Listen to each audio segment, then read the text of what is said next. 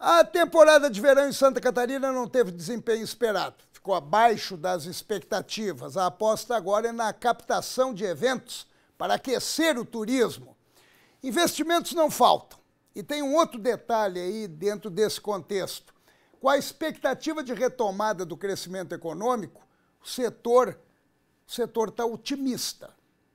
Eles vieram de vários estados e até de outros países. Rodaram centenas, milhares de quilômetros para participar de um encontro que reúne apaixonados por motociclismo. Nós estamos hoje aqui, com nós, é o nosso, sendo o nosso primeiro encontro, nós reservamos 250, 250 apartamentos e desde ontem já esgotou. Durante três dias, os 500 motociclistas, que ocuparam cerca de 30% dos leitos deste hotel, trocam experiências sobre viagens, equipamentos e acessórios. E de quebra, eles movimentam a economia. Eventos como este ajudam Florianópolis a driblar a sazonalidade do turismo, ou seja, a dependência que muitas cidades têm da temporada de verão. Nós estamos em pleno mês de maio, mas dá só uma olhada em como está o saguão desse resort. Neste fim de semana, o local reúne 1.500 pessoas em três eventos simultâneos. O mercado é tão promissor que o espaço dedicado a feiras, congressos e exposições foi ampliado. A gente sentiu um, um aumento nos, nos, pedidos, né?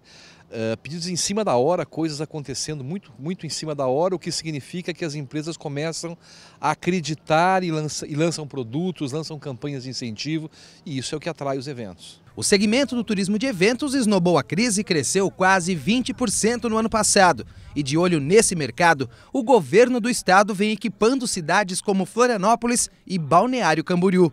Nós já somos o melhor destino turístico do Brasil, em função daquilo que a natureza nos proporciona, da capacidade também de oferta de produtos de qualidade. Mas agora nós queremos é a investir em outro foco, o de eventos. Com investimentos em infraestrutura, o trade espera consolidar Santa Catarina como um polo do turismo de eventos no país, ao lado de estados como São Paulo e Rio de Janeiro. A gente tem recebido, tem cadastrado lá no Floripa Convention um número muito grande de eventos, tanto para esse ano já como para o próximo ano. Esse ano são mais de 100 eventos cadastrados de médio e grande porte.